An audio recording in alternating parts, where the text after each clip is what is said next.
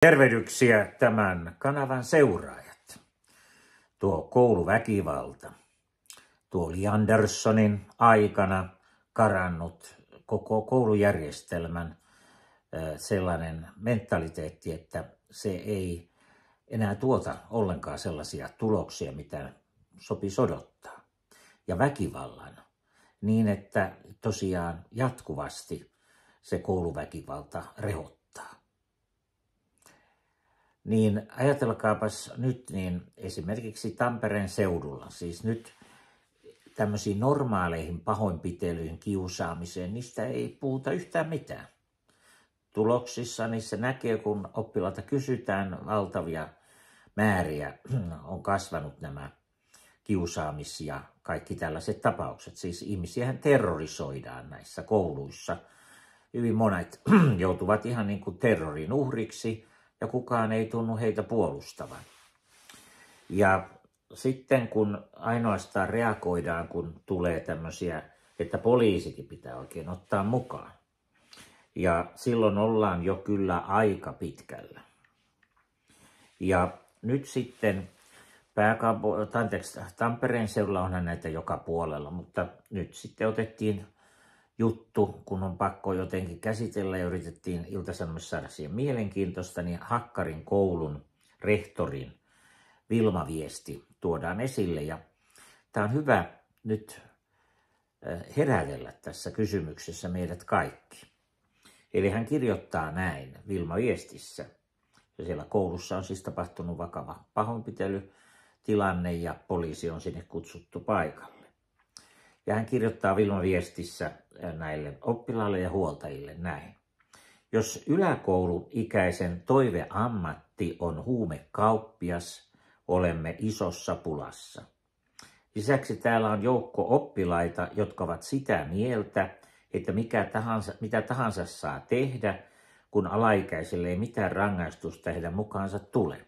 Eli tämä on levinnyt nyt, kun nämä huumediilerit ja tämmöiset niin kuin siellä Ruotsissakin nämä kuolemanpartion porukat, niin ne nimenomaan käyttää alaikäisiä ja opettaa heitä, että he saa tehdä mitä vaan, koska ei heille tule mitään oikeita rangaistuksia. Ja sitten hän kirjoittaa, on viitteitä siitä, että väkivaltaa ihanoiva roadman-kulttuuri on leviämässä Suomeen. Oikanen viestittää sitten tämän iltasanomille. Romman kulttuuri on ilmiö, jossa ihaillaan alamaailmaa ja rikollista elämäntapaa. Mä muistan jo silloin, kun olin itse aika pieni poika vielä ja nuori, niin kuulin aika paljon sellaisista ää, tuota, juttuja, jossa sanottiin, että juuri levitettiin sellaista, että jos on alaikäinen, niin voi tehdä ihan mitä vaan, koska ei saa oikeasti mitään tuomiota. Se oli jo silloin, puhumattakaan nyt tänä päivänä. Ja kun tähän liitetään vielä nämä huumeet ja kaikki, niin ne ongelmat ovat todella vakavat, mutta niitäpä ei saa käsitellä. Meidän valtamedia käsittelee vaan hyvin typistetysti. Ja Liv Andersson ei ole vieläkään joutunut vastuuseen yhtään mistään. Hän tuhosi meidän koulujärjestelmän. Hänen aikanaan se romahti lopullisesti näiden neljän vuoden aikana. Eikä hän saanut oikein mitään aikaa. Ja ajatelkaa, nyt meillä on koulujärjestelmä, tämä väkivallan kierre, kaikki ovat ihan mahdottomissa lukemissa. Niin, että tosiaan kun viikon aikana 40 000 koululaista joutuu kouluväkivallan uhriksi. Se on hurjia lukuja. Mutta joka tapauksessa, niin nyt siellä on sitten hmm.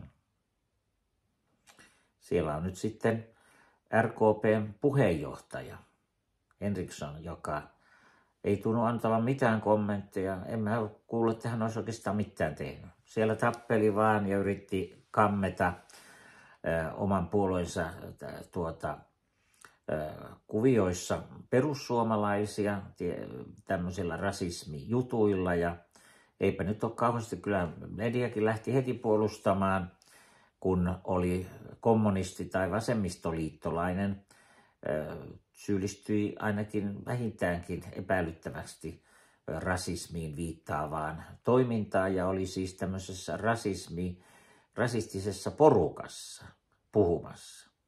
Me muistamme siellä, että siellä oli esimerkiksi perussuomalaisille ministeri, joka joutui eroamaan tai erosi, kun hän oli tämmöisen terroristiuhrien muistotilaisuudessa puhumassa. Ja jos kuuntelette sen puheen, niin mä ainakaan näy siinä mitään pahaa. Se on ihan normaali, tavallinen, itse asiassa aika hyvä puhe. Mutta kun siellä paikalla oli sitten näitä tämmöisiä, jotka tulkitaan äärioikeistolaiseksi, niin hänet leimattiin sitten äärioikeistolaiseksi ja ties miksi. Ja nyt sitten meillä on vasemmistoliiton edustaja, joka käy puhumassa sitten tosiaan tämmöisessä tilaisuudessa, jossa on selvästi rasistisia piirteitä. Niin eipäs hänen eroaan tai jotain vaadita.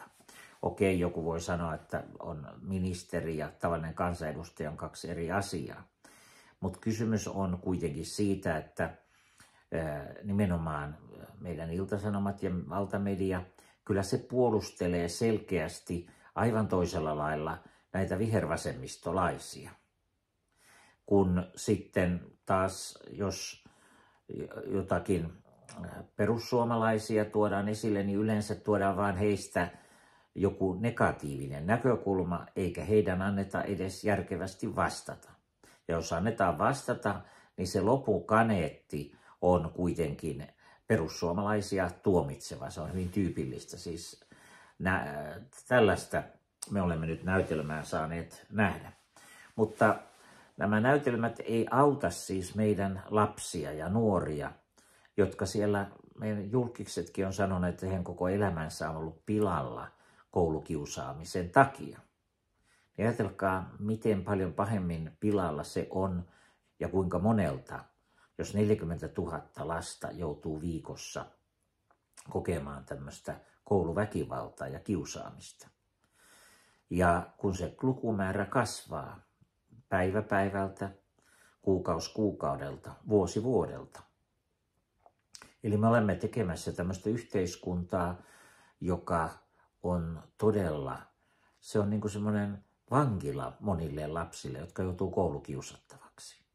Ja on se kyllä kumma, että mitään, no se on tietysti, kun se Henriksson siellä on opetusministerinä, kyllä meidän pitäisi tämä koko koulujärjestelmä uudistaa ja tehdä sellaiseksi, mun ymmärtääkseni, että semmoinen turha, turhat ainekset sieltä pois. Siellä pitää olla sopivasti liikuntaa ja muuta varmasti, että lapsilla on muutakin tekemistä kuin vaan istua siellä koulun penkillä nämä luokat pitäisi palauttaa, eikä vaan tämmöisiä avotiloja. Ja niitä on nyt jonkun verran palautettukin, kun se on mennyt ihan mahdottomiin nämä kokeilut.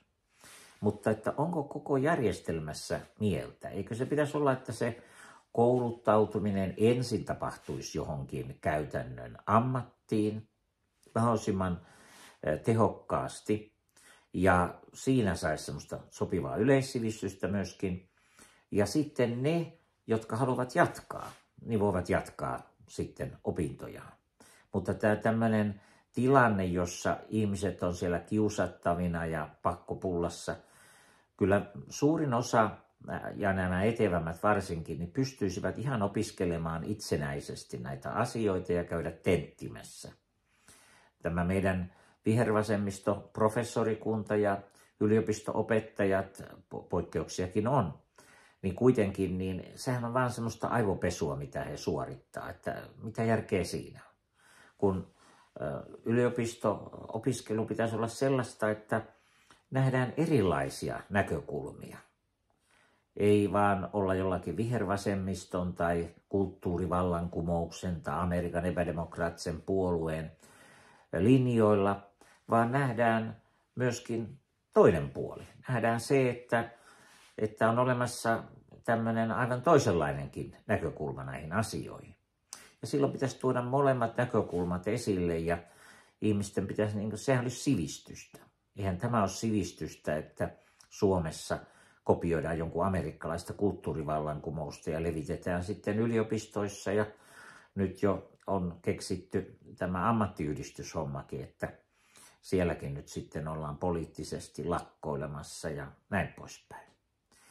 Kysymys on siitä, että mihin näitä voimavaroja käytetään. Eipä tunnu olevan vihervasemmisto koulukiusaamisesta ja koulun ongelmista ollenkaan kiinnostunut. Ja se on aivan hämmästyttävää.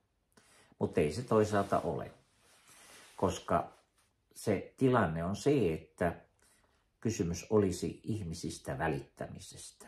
Ja se on se ongelma vihervasemmistolla, siis koska se on menettänyt sen eh, sosialistisen ideologiansa kokonaan ja se on tarttunut tähän amerikkalaiseen imperialistiseen epädemokraattiseen puolueen levittämään tämmöiseen ääriliberalismiin, jossa, jossa ne moraaliseettiset arvot niin sanotusti pannaan uusiksi. Eli, eli kaikki on sallittua, mikä, mikä ihminen haluaa vaan ja mikä miellyttää ihmistä. Ja siinä sitten unohtuu nämä syvällisemmät arvot ja oikea välittäminen lähimmäisestä. Se koskee näitä koulujärjestelmiä ja se koskee vaikka ammattiyhdistystä.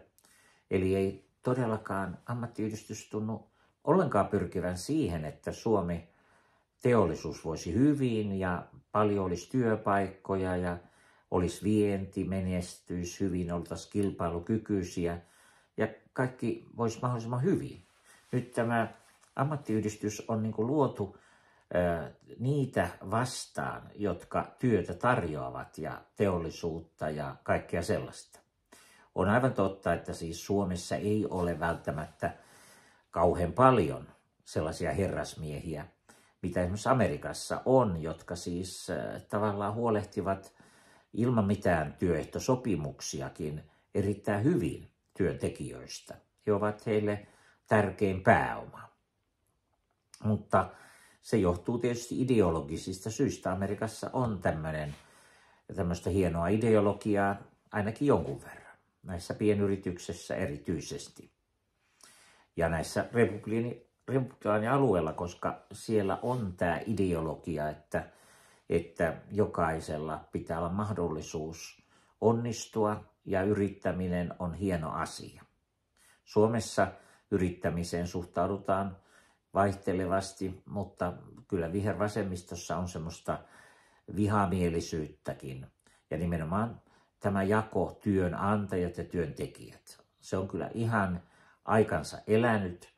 Meidän pitäisi olla juuri niin kuin Ruotsissa on tämmöinen vuoropuhelu, jossa työntekijät ja työnantajajärjestöt yhdessä yrittävät ratkaista kysymyksiä niin, että ne olisivat työntekijöille ja työnantajille kokonaisuuden kannalta hyviä.